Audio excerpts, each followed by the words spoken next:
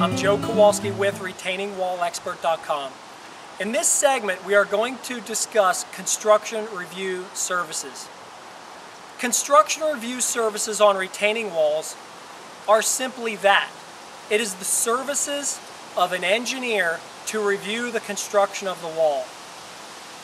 These services are important to the owner, to the design engineer, and to the contractor to ensure that the retaining wall is built properly.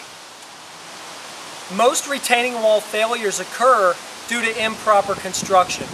This illustrates the importance of the contractor in making sure that the wall gets built right. Let's take a look at some specific things that the engineer needs to review during the construction of a retaining wall.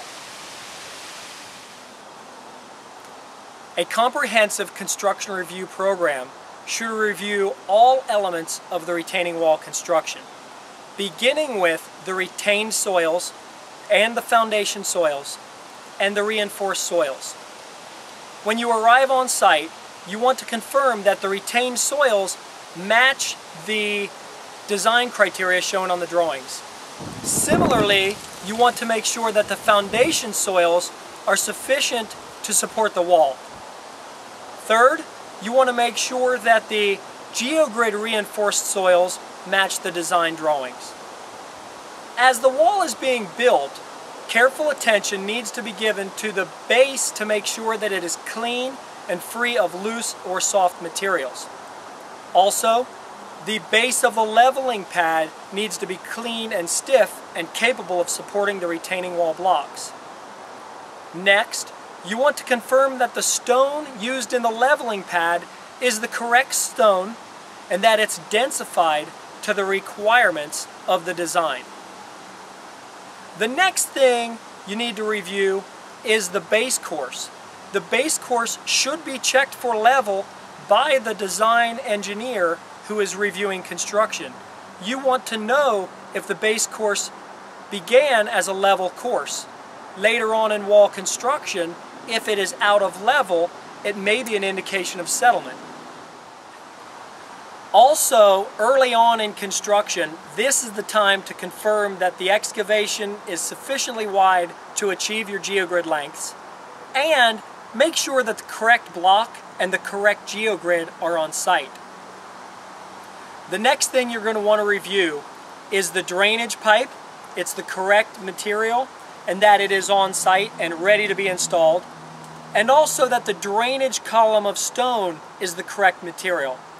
Often, the drainage stone column requires an angular crushed stone material. However, a rounded gravel is what is delivered to the site. A rounded gravel has different characteristics and is the wrong material in some cases.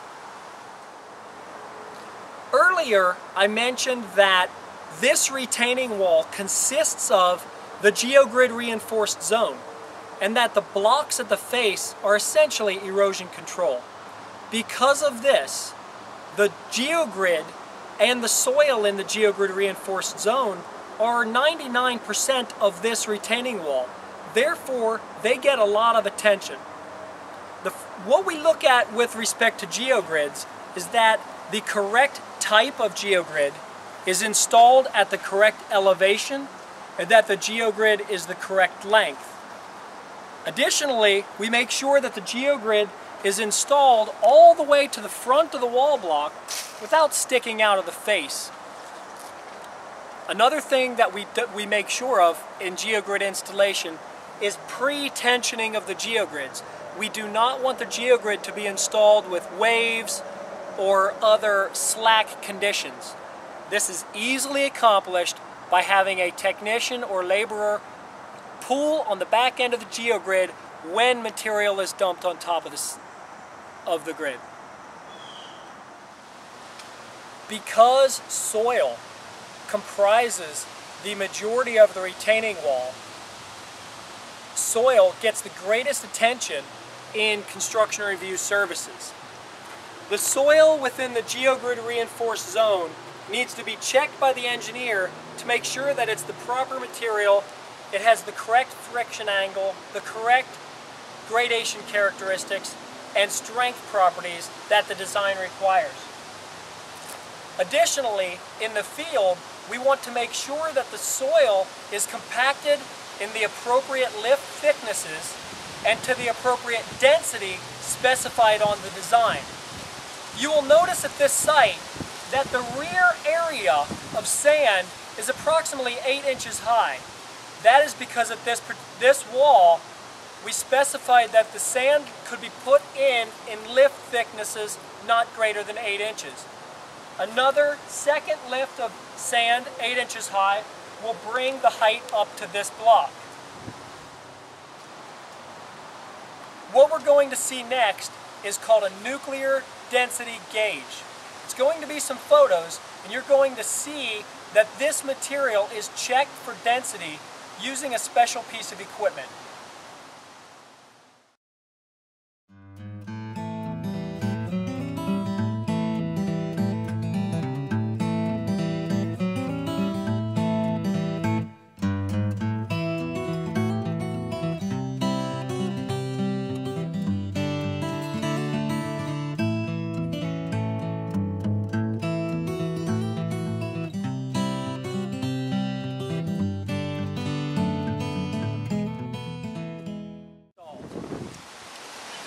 In this segment, we discuss the importance of construction review services. Construction review services on retaining walls benefits everyone associated with the project. The owner, the contractor, the design engineer, and incidentally, all of their insurance companies too. With Retaining Wall Expert, I'm Joe Kowalski, right here, right now.